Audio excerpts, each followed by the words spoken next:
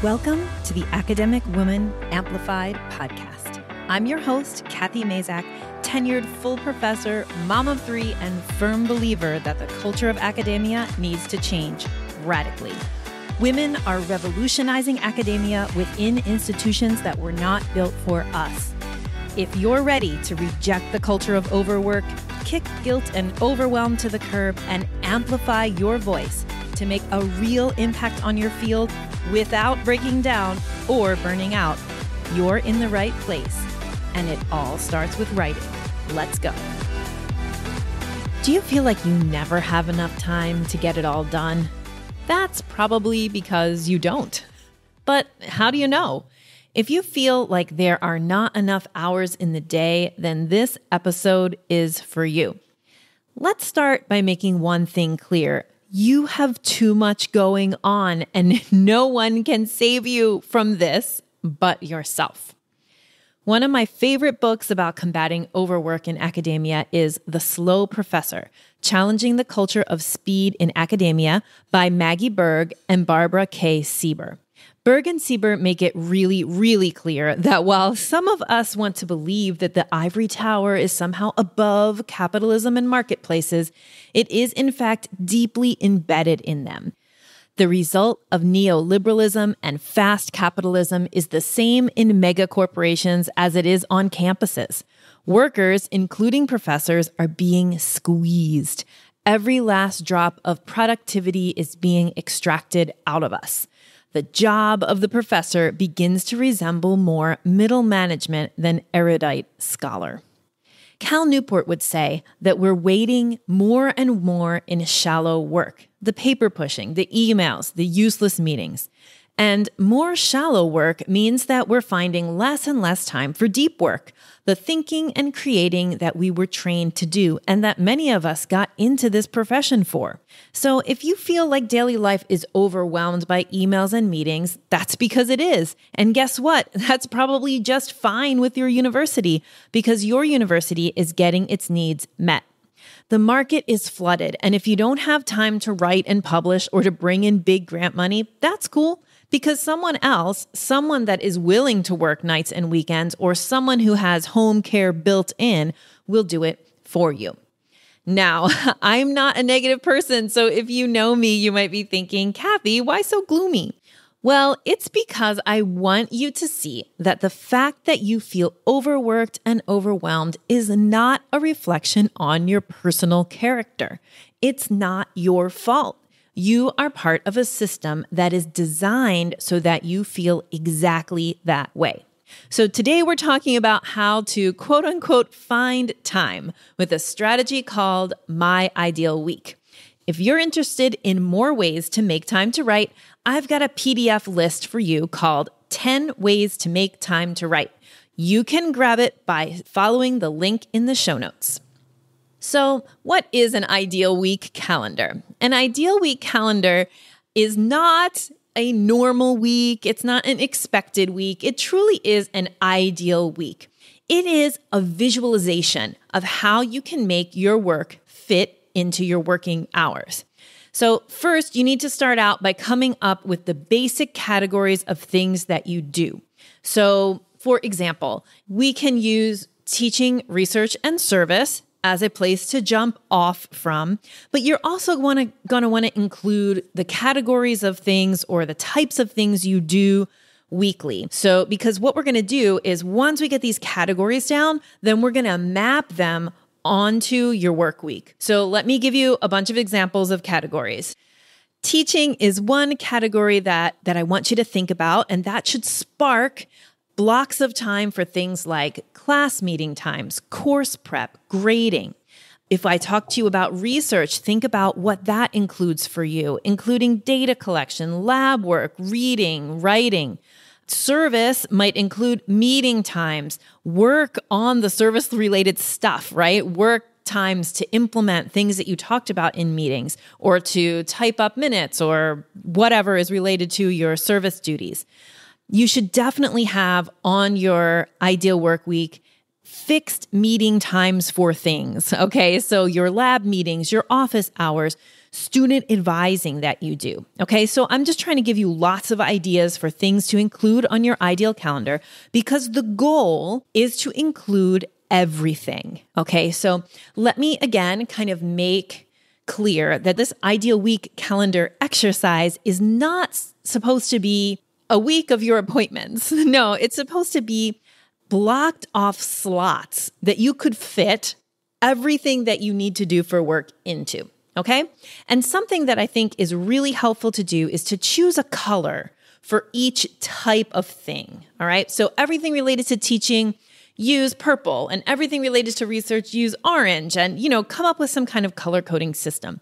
The first time that I did this exercise, I did it on a piece of paper with a pencil and crayons because that was what was near me.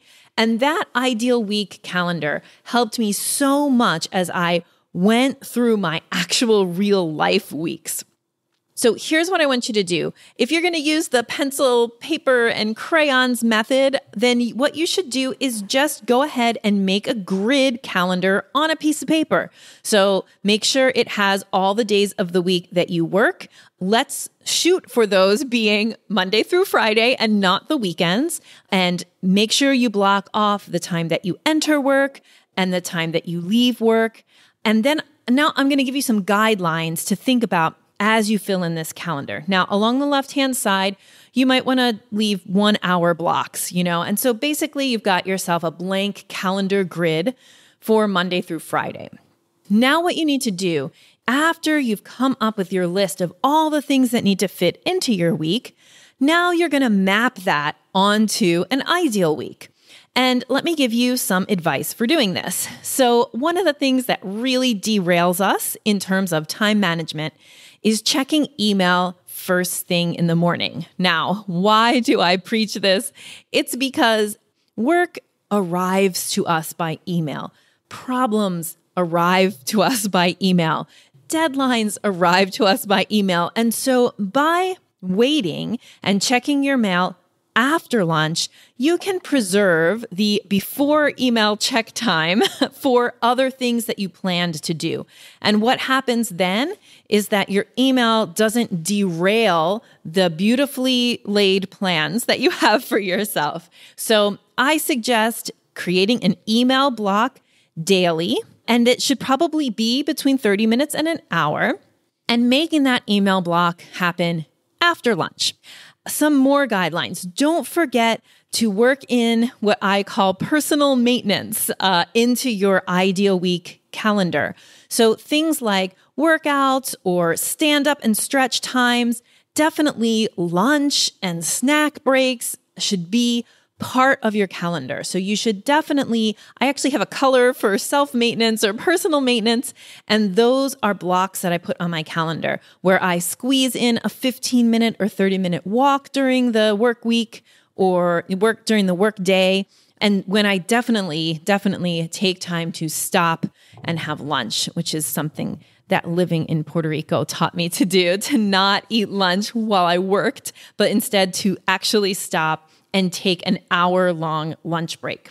So you can categorize those as personal maintenance and give them a color. Another guideline or something to think about as you put together this ideal week calendar is to consider the strategy of stacking your days. And what this means is just to put similar blocks together to minimize task switching. So, one way to do this is if you teach Tuesdays and Thursdays, only Tuesdays and Thursdays, then try to also put your office hours, your grading time, your prep time on Tuesdays and Thursdays. And that way, you have everything that has to do with students piled up on your Tuesdays and Thursdays, and then you can use your Mondays, Wednesdays, and Fridays for other things. For example, maybe Monday and Wednesday are going to be your research and writing days, and Friday morning you'll do a little more writing, and then you have time for service work. So, trying to put together on certain days similarly themed activities can also be helpful. Another thing to keep in mind consider corralling your activities together. So there's definitely some activities that you know tend to spill over. So if I have all the time in the world to create a lesson, I'll make a beautiful handout and I'll make a PowerPoint. I'll I'll take time to choose the colors of the presentation and to download new stock photos.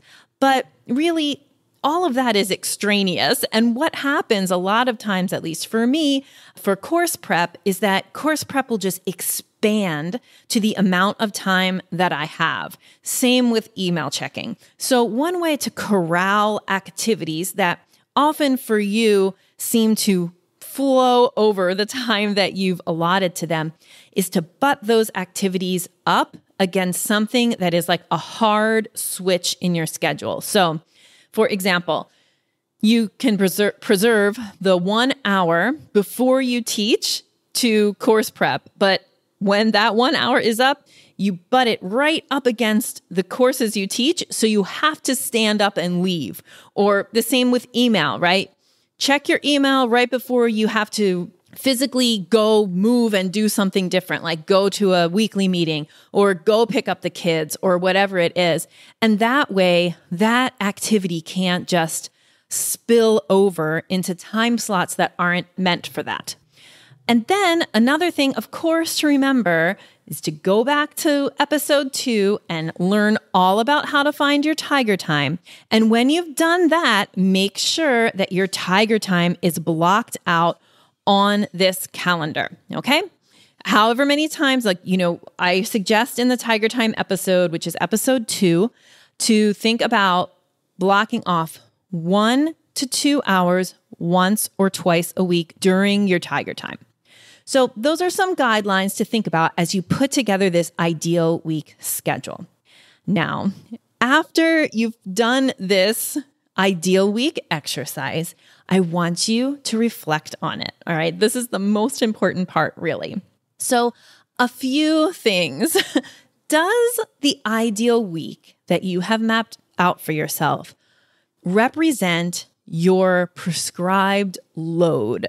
So, for example, if you in your contract are supposed to be doing 50% teaching and 50% research to oversimplify, does your calendar reflect 50% of the hours that you're spending working on teaching and 50% of your hours on research? If not, then a great idea is to start to tweak that ideal calendar to be approaching representing your actual load. The same with if you are supposed to be doing, you know, 10% service and some other percentage of things. And you look at your calendar and you realize that your service is taking up way more hours than you're supposed to have it taking up according to the load that was outlined in your contract. Then you need to have a conversation with your department chair. So, the ideal week exercise can be very revealing. Okay. I want you to really think about does this ideal week represent your load? Does it represent the way you're being evaluated for tenure and promotion? If it doesn't, I want you to think about why doesn't it? Is that because maybe maybe the opposite of what I'm thinking is true and maybe you are supposed to be spending more time on teaching than research because you're at a teaching focused university, but you have aspirations to maybe switch to a more research focused university, so you're amping up your research in your current ideal calendar so that you can make that move. All right. But regardless, this should be a way for you to reflect how is your time really being used? Another thing I want you to think about is does everything that you need to do fit into the week? If it doesn't, if you look and you still say, oh my, there's just not enough hours in the day, then you need to think where can you cut? Before you say, I can't cut anything, let's get real for a minute. You have to cut something. If you do this ideal week exercise and you are filling 60, 70, 80 hours a week with work, that is not sustainable. That is a recipe for burning out. So, you need to use this opportunity to think about how you can cut back, how you can switch your focus, how you can force your work to fit into a 40 hour week. So, then I want you to think when you look at your ideal week calendar, I want you to think how would it feel to live out this week? How would it feel to follow this plan that you've made for yourself and not let email consume your whole day? How would it feel to preserve time for writing? How would it feel to corral your teaching prep so that it's proportional to the amount of teaching that you're doing instead of letting it flow all over all of your other work? So, this exercise is an exercise in centering you. It takes some real self confidence and self love to do this exercise and then live it out. Self love because a lot of times we just plow right through lunch or we don't stand up and stretch or take a quick walk when we need to because we feel like, I just don't have time for that. The purpose of the ideal week exercise is to show you that you need to make time for these things. You need to make time for writing and to really have you reflect on, you know, how are certain things that I do every day bloating up my work hours and expanding past what I need them to be. The next step, of course, after you've created your ideal week and you've reflected on it using the guide questions that I just walked you through, the next thing that you need to do is live it out and see how it feels. And this is probably the hardest part because remember, the ideal week is ideal. It is not typical, perhaps, it is ideal. And so, as you attempt to live out your ideal week the way you've mapped it for yourself, you need to keep in mind a few things. One is that this is an exercise and you need to test this out and try it. The reason that we try new things is because what we're currently doing is not working. So if you've come this far and you're like, yeah, I need to try this ideal week thing, it's because something isn't working. You're working weekends when you don't want to be. You're working nights when you don't want to be. Things are overflowing. It's stressful. So what I want you to do is take action to control that stress. Take action, do something different from what you've been doing. And so, what you can do is try to, to the best of your abilities, follow your ideal week calendar for two weeks. After you've done that, and if you look at your email inbox and go, okay, half an hour a day on email is not enough, or an hour a day on email isn't enough, then you've identified what are areas of your academic life that need adjustment. What things can you do to reduce the number of emails you get? Are there ways that you could pre filter your emails? Are there communication systems that aren't email that would work better for you? By trying out the ideal week, it lets you adjust and tweak. If you think, oh, wow, I, I can do prep in 45 minutes instead of two hours, fantastic. You learned something about yourself. If not, then what you need to do is tweak your ideal week and continue to readjust. The important thing with all the exercises that I give you and that I give my clients inside of my programs and courses is to try it.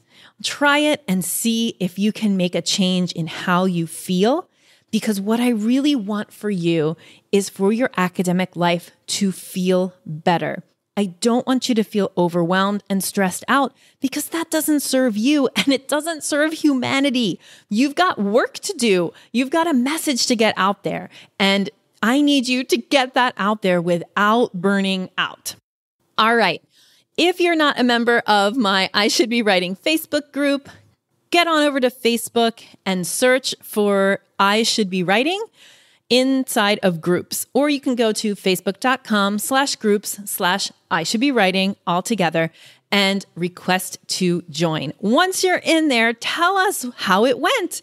show us a picture of your ideal week calendar. I challenge you to take action towards living out your ideal week and see what happens. Let's make this academic life more centered, less stressed, and less overwhelming. Have a great week. Thank you so much for spending your valuable time loving on yourself and your writing by listening to this episode. If you'd like to continue the conversation, join the over 7,000 academic women in the I Should Be Writing Facebook group. Just go to facebook.com slash groups slash I Should Be Writing or search for I Should Be Writing inside your Facebook app. See you inside.